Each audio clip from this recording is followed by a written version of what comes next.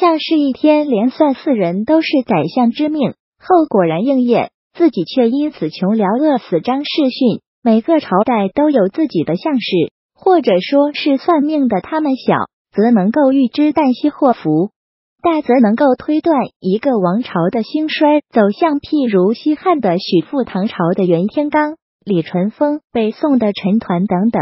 除了这些大名鼎鼎的相士，还有无数默默无名的相士，被淹没在了历史的长河。譬如今天要讲的一项士，他一天连算四人都是宰相之命，后果然应验，自己却因此穷聊饿死。这事的主角叫张世训，九百六十四年出生，北宋政治人物、诗人。九百九十二年举进士第，曾经活跃于北宋政坛，在宋真宗。宋仁宗二朝三次任宰相之职深的皇帝器重张世训与陈尧佐、范仲淹等著名文人、政坛人物都有很深的交往。他少年父母俱亡。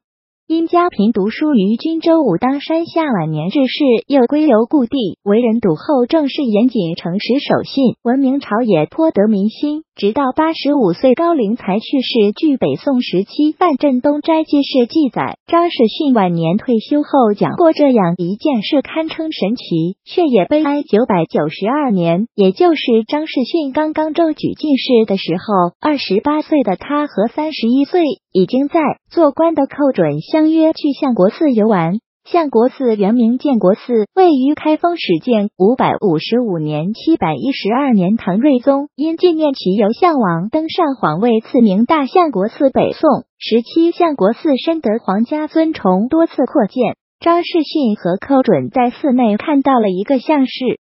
两人便嫌去算命，卜算前程。算命对他们，你们两个都是宰相之命，以后都会做宰相。两人便开心的走了。后来在路上碰到了张其贤和王随，于是这两人也去卜算前程。张世训和寇准自然也跟着去看热闹了。像是为张其贤和王随卜算完了之后，大吃一惊，对着大家说：“我居然在一天之内连算四人都是宰相之命。”围观的群众和张世勋四人都哈哈大笑，嘲笑这位相士算的不准，是个大骗子。从此没人再相信他算命算得准了，慢慢的也就没人找他算命了。这位相士因此也等于间接失去了谋生技能，余生穷困潦倒，最终饿死在家中。九百九十一年，张其贤出任宰相；一零零四年，寇准出任宰相；一零二八年，张世勋出任宰相。一零三二年，王随出任宰相。到这相氏的话果然应验。张世训四人做了宰相之后，想为这位相士作传记载，但因人